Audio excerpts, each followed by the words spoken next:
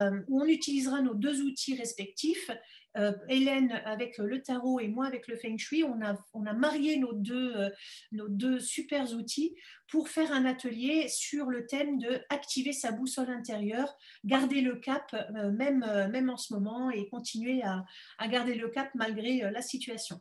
Et pour vous montrer un petit peu ce qu'on va vous proposer pendant cet atelier, on s'est dit, tiens, et si on, on se mettait en situation euh, puisqu'on a, on a fait toute une, une trame, on a réfléchi et on s'est dit on va se mettre en situation. Donc on va vous faire trois vidéos avec les trois parties de l'atelier où euh, on se prête au jeu. En fait, on va prendre, euh, enfin, c'est surtout moi finalement parce que on a pris mon plan et puis on a, Hélène, elle a tiré une carte pour moi et donc vous allez voir ce que ça donne. C'est assez étonnant.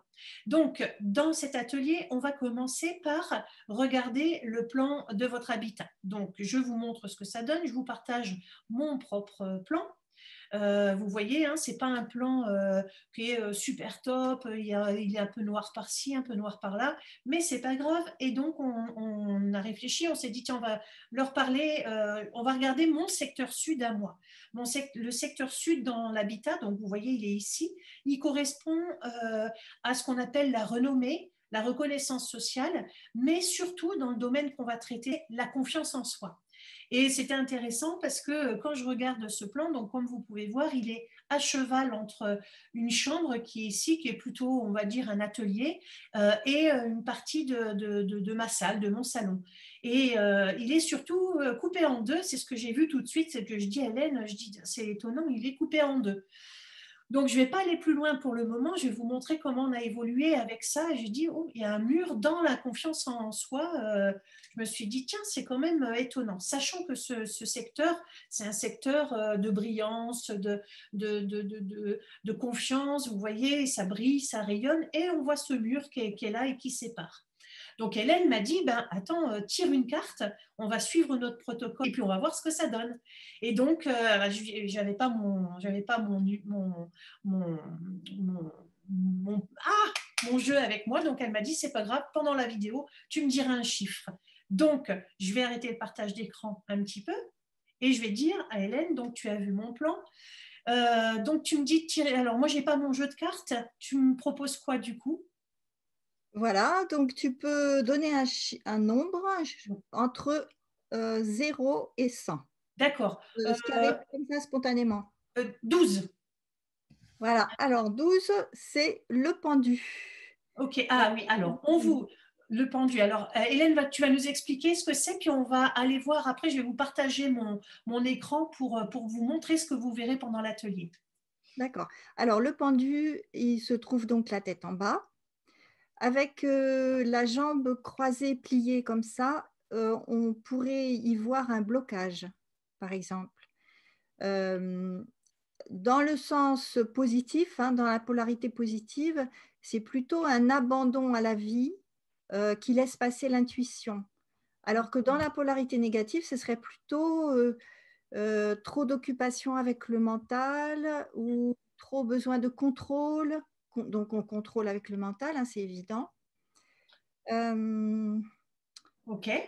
Voilà, ce serait pour l'essentiel, euh, euh, ce serait ça. Ce serait ça. Alors, tu me permets, je vais partager l'écran de ce qu'ils vont voir pendant l'atelier, c'est-à-dire qu'on vous a préparé des documents et pendant l'atelier, on vous, pour cette partie-là, on vous amène à regarder ce plan euh, ce plan, ce tableau, pardon, où euh, Hélène nous a fait un super travail d'explication des cartes.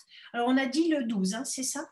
C'est ça. Donc, je regarde le 12, moi, n'y connaissant rien en tarot, je vois effectivement le pendu, détachement, dissociation, inversion des valeurs, lâcher prise, ok, je comprends, c'est ce que tu viens de dire, hein, s'abandonner à la vie.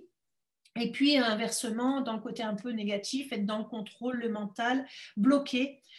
Alors en fait, tu vois, euh, ce que ça m'évoque, tu vas me dire si je me trompe, c'est ça, effectivement, on voit le, avec le mur qu'on voyait dans le secteur sud, ce que ça m'évoque, c'est que euh, effectivement, j'ai un mental qui est assez fort et euh, j'ai aussi une capacité dans le sud, dans la confiance en soi et la renommée, je vois ce gros mur.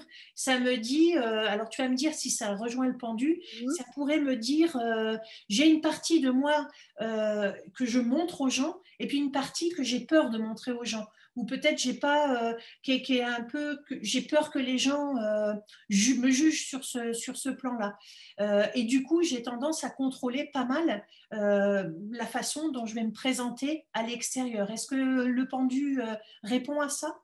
Oui, oui, oui, tout à fait. Oui, c'est un, besoin de, contrôler quelque chose, une partie de hmm. toi en tout cas.